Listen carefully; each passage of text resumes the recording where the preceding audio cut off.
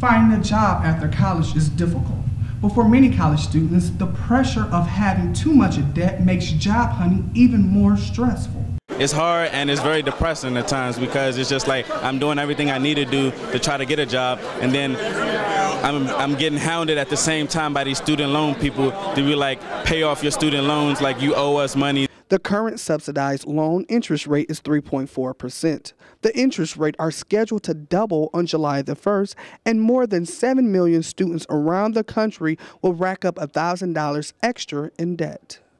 You know, in, in my opinion, the fact that they would even allow an interest rate to be doubled calls into question, um, you know, Congress's, where, where they set education in their priorities, in my opinion. The president has helped make higher education more affordable by extending the Pell Grant to over 3 million students. He's also going to sign a tax credit worth up to $10,000 that will help middle class families cover the cost of tuitions. All that may be well and good for students entering college, but for these NABJ members steeped in debt, the future remains uncertain. I'm Clayton Smith reporting for NABJ TV.